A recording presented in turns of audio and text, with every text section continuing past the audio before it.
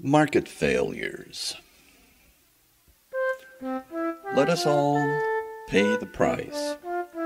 The clean air that isn't, the clean water that isn't, the forests that aren't, the oil spills that are, the gas well that dirties the water, the people that populate the world, the industrial food chain that kills.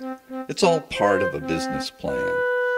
A plan that turns its back on the things business does, the things that are not counted, the externalities that business create, that create the oil spills, the dirty air, the dirty water.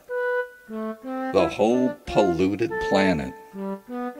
Externalities are the overriding market failures that makes everything else weep in its disregard.